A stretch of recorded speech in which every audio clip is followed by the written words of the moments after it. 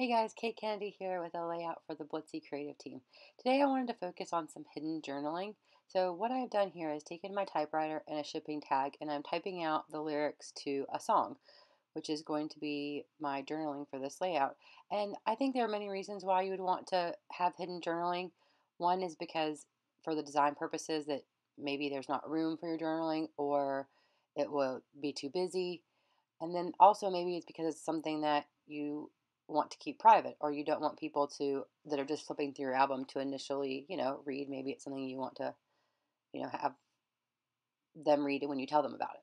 So what i've done here is i have created i'm going to create kind of a pocket behind the layers of paper. And you can do this with paper but i took the easy way and just used a glassine bag and i'm going to adhere the glassine bag to the bottom layer of my photo cluster and then that shipping tag will just slide right into it. And you can do this many different ways. You could use any kind of bag. This is just what I had, any size shipping tag. There's tons of different ways you can do this.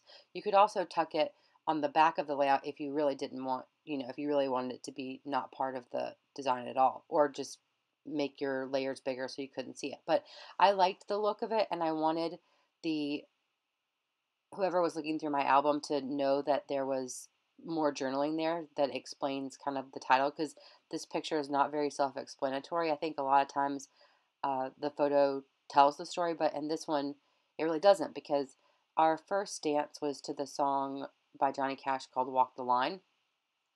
And my brother played the drums on it, which was really cool. And my husband's best friend sang. So it was really a neat thing to have them be part of that. So I'm using these sort of transparent acrylic or plastic lettering stickers or lettering pieces from Pink Paislee and they don't have any sticky on them and I didn't want the adhesive to show so I just used the Xyron sticker maker and it's perfect. You're not going to be able to see any adhesive on the back of them which is really cool.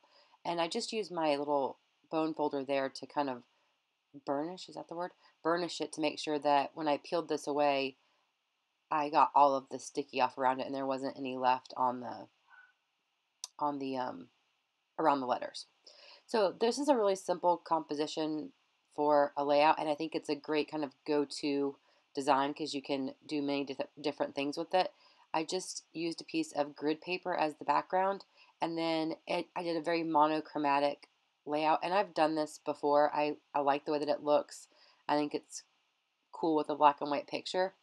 So I just used some gray um, pattern paper and then some layers of black and white pattern paper. And I'm going to add a few strips to the bottom of the layout just to kind of bring in a little bit more pattern. And then I'm going to embellish it with a bunch of puffy stars and hearts and just fun little things. But what I really wanted to um, to focus on in this layout is the hidden journaling. And I just think that it's a really fun thing to do. Sometimes I feel like, oh, I don't like my handwriting that much, and I don't really want it to be, you know, part of a layout. Sometimes I, I want to tell the story, but I don't, I don't want it to be that much of a, of a design element. So I think that hiding your journaling is just a great way to get the story told, get the information on the layout that goes with it, so that years from now, looking back, you'll know exactly what you were thinking or what this picture was about but you don't have to have your handwriting or anything on the page. so like I said, I'm just going to finish up embellishing this and I just went through my stash and pulled some things that were black and white and gray and just added little bits and bobs everywhere. So that is pretty much going to finish up the composition of this layout.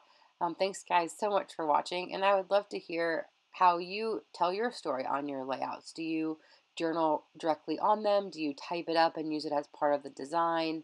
Do you hide your journaling? Thanks again, and I'll see you guys real soon. Bye.